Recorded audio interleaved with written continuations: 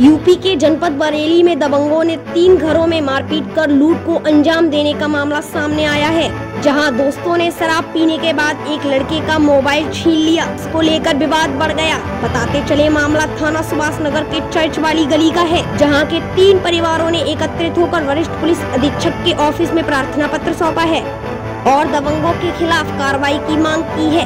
आरोप है कि वहीं के रहने वाले सुरेंद्र चौहान के पुत्र विशाल को फरमान कलुआ व निहाल ने पहले शराब पिलाई, फिर विशाल का मोबाइल छीन लिया। विरोध करने पर उत्तक लोगों ने अज्ञात 50 से 60 लोगों के सुरेंद्र यादव, रंजीत सिंह एवं सुरेंद्र चौहान के घर धावा बोल दिया। सुरेंद्र चौहान की पुत्री आरती ने बताया कि फरमान ने उसके सर पर तमंचा रखकर अलमारी की चाबी ले ली और लगभग सत्तर हज़ार नगद तीन लाख के जेवर लूट कर ले गए। साथ ही दो गाड़ियाँ भी तोड़ दी। पीड़ितों ने दबंगों के खिलाफ कार्रवाई की मांग। खिलाया में। मेरा नाम मिथिलेश यादव। मामला ये है, हमारा देवर है वो।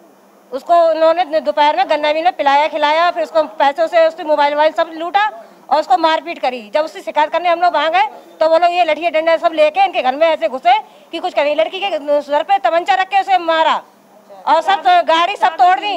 घर में जितना जेवर था अभी देवर की शादी हुई सात मई को है उसके सब जेवर पैसे सब लूट के ले गए। सारे कपड़े वगैरह सब और मार, जान से मार देने की धमकी। हम थाने भी गए जो गजेंद्र सिंह यादव है जो भी है वो हमारी सुनवाई नहीं हो रही हमें थाने वैसे भगा दिया उन्होंने। तमंचा रखकर मतलब इतनी गंदी गंदी और जिसमें रश्मि है फरमान का मेन मेन मुखिया है वो उनके लिए हक में ज़्यादा वो है। हम लोग की सुनवाई नहीं हो रही इस वजह से हम साहब के पास आए थाने गए लेकिन किरण। मोमडल लोग थे। और कम से कम साठ, सत्तर लोग आए थे, जिनमें तीन, चार लोगों को हम जानते हैं। एक का नाम कलुआ है, फरमान है, और उसका क्या नाम क्या नाम था? भूरा ये तीन, चार लोग नौ, सात, चार लोगों को हम जानते हैं, बाकी सब अज्ञात व्यक्ति थे, करेली, करगना के थे, कुछ लोग, हम जानते नहीं हैं उनको। सब डाटा बांधे हुए थे। लूटपाट करी उनके दस पाँच हज़ार रुपए जो गरीब लोग हैं दस पाँच हज़ार जो रखे वो ले गए इनके निकाल के।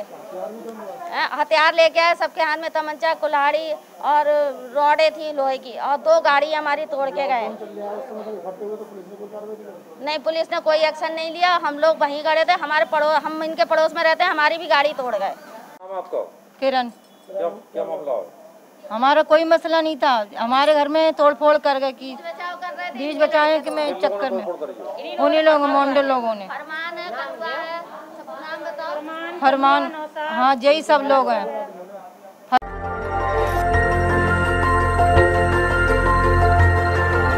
देखते रहिए डीवी भारती समाचार नज़र हर खबर पर।